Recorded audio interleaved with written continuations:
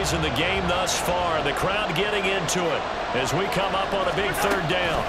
Mahomes taps this forward. It's a jet sweep. There he goes right side. He's going to have the first down and then some. Now he's into the clear again. And all the way in for a Kansas City touchdown.